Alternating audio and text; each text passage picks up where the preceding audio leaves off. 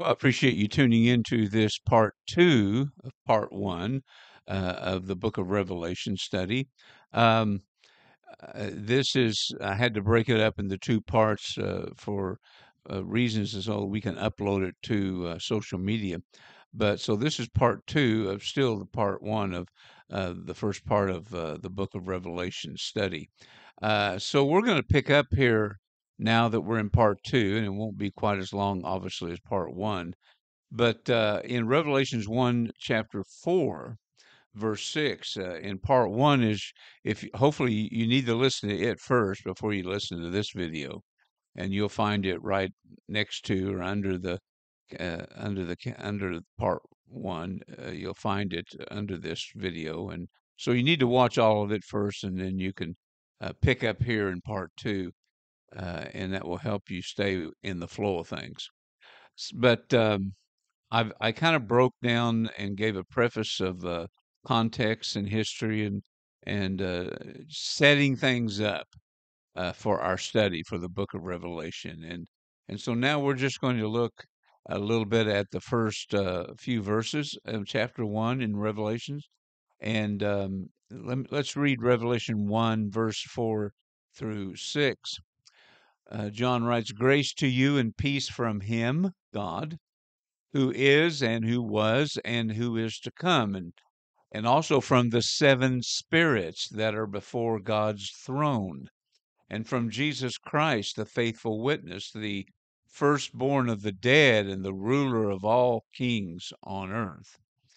So here we see God the Father, uh, God Almighty, is shown as the one true and living eternal one. You know, he lives in a realm without space, time. Uh, he is, he is, he was, and he is to come. He's he's all that in one. Uh, his his li- linear space that he looks and can see is from beginning to end. He is, uh, you know, he he was, he is, and he is to come. Uh, all history, all human history, all creation history is part of his predetermined plan and his purpose before the foundations of all creation. And and so that's so important to understand as not only do we look at the book of Revelation, the revelation of Jesus Christ, but also in our understanding of life.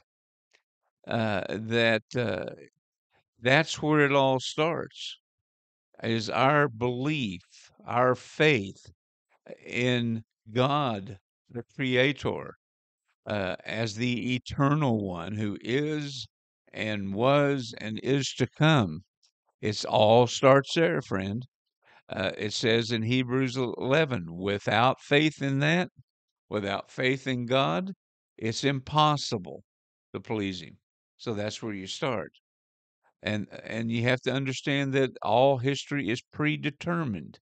In the book of Acts, uh, when Peter stood up and spoke, he goes, Now, according to all the predetermined plan of God, what you're seeing now is happening. You know, God already wrote the script, He's sovereign. I can't say that enough, and and I hope you believe it deep inside.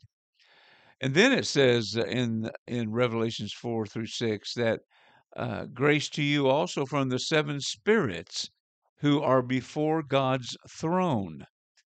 Now, you know, the seven spirits that are before his throne or his high place, his place of authority, uh, I cannot say for sure uh, but but this could be referring,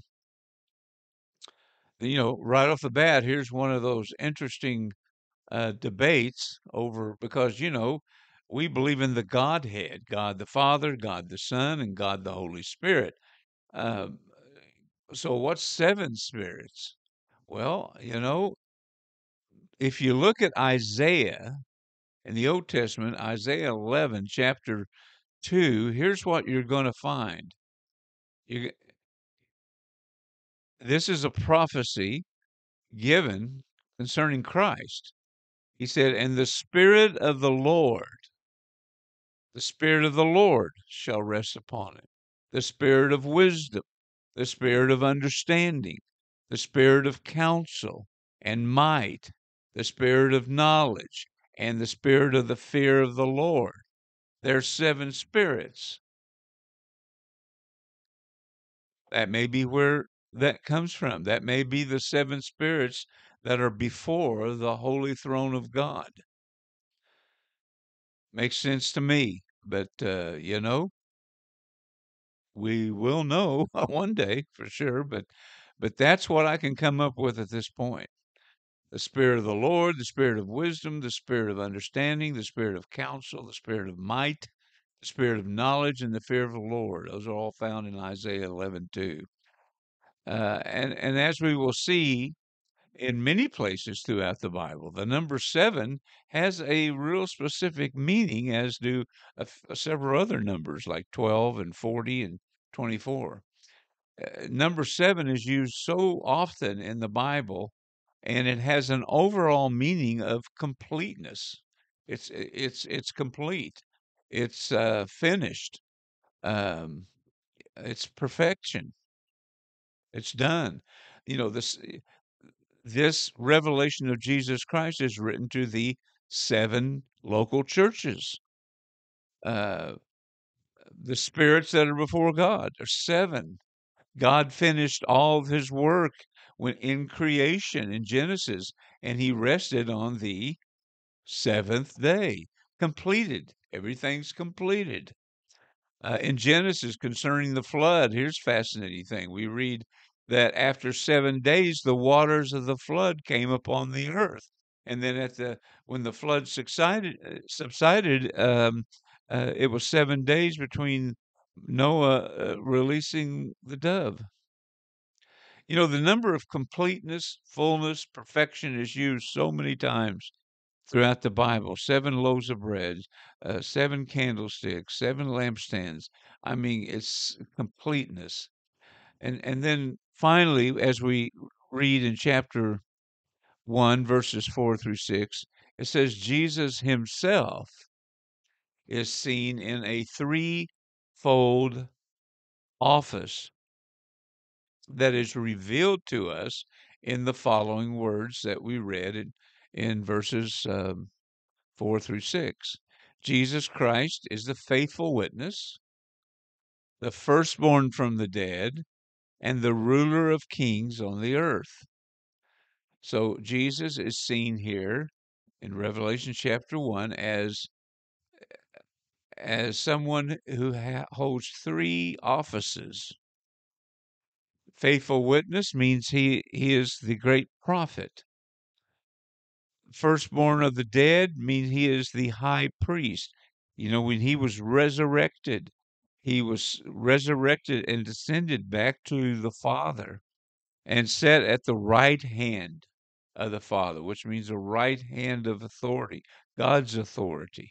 He was given authority. His name was authority over all other authorities and he became not only our our our uh, savior, not only our Lord, but he then became high priest.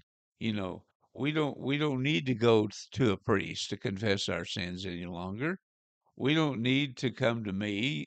You don't need to go to your pastor. You don't need to you can go to Jesus and and who is your high priest and he will hear your confessions. Um, so anyway, he's firstborn of the dead, and he's third ruler of kings. In other words, he now is prince over all kings, all authorities on heaven, uh, in the earth, and under the earth. The Bible says he's it. Today, he's even judge.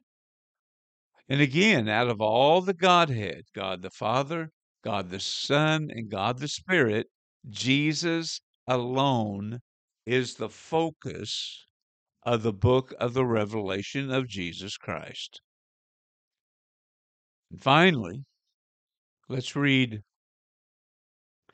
uh, continue to read in Revelations 1 4 through 6. To him, John writes, Jesus, to Jesus, who loves us. He's got to establish that fact that he loves us. And he has freed us from our sins, our injustices, by his blood, and made us a kingdom, priest to his God and Father.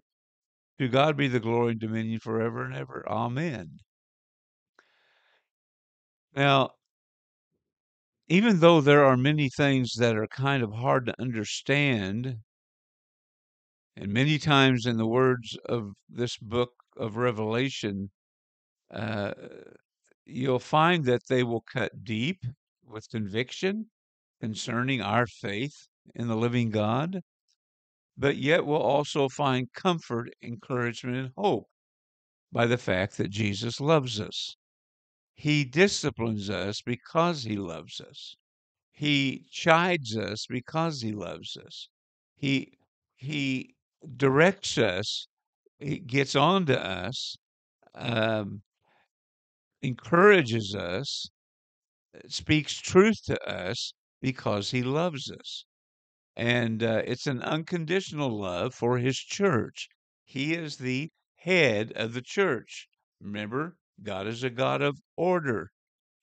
And Jesus demonstrated this love he has by getting his own life blood on a Roman cross for the forgiveness of sin and injustice. And at the same time, he, in turn, this made us citizens of the kingdom of God by our faith in what Christ did on the cross, where Jesus reigns as the resurrected Savior and High Priest and Lord and Judge. And then, as a grand climax, Jesus, through his blood that has rescued us from the wrath of God that's coming upon the wicked, Christ has given us the right to be called the children of God, and he has now made us a kingdom of priests. This is the emphasis of the book of Revelation. We are a kingdom. We are citizens of the kingdom of God. We've been translated from darkness to light. We are ambassadors of Christ. We represent Christ. We offer ourselves up as living sacrifices that love God with all of our heart, with all of our soul, and with all of our mind. This is the great and first commandment, Jesus said. And the second is just like it you shall love your neighbor as yourself. Two commands fulfills the laws of God. The first one reveals the heart of love that would not dare live in a way in front of the world and that would scar the reputation of the God they love. The second, love your neighbor, reveals the heart of love for our fellow man that we would never do anything that would cause them to stumble or, or suffer injustice.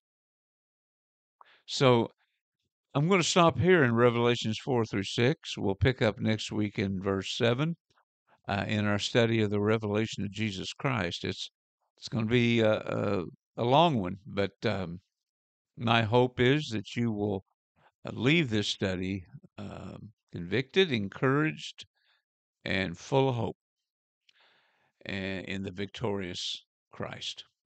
All right, until next time, dear friends, God bless.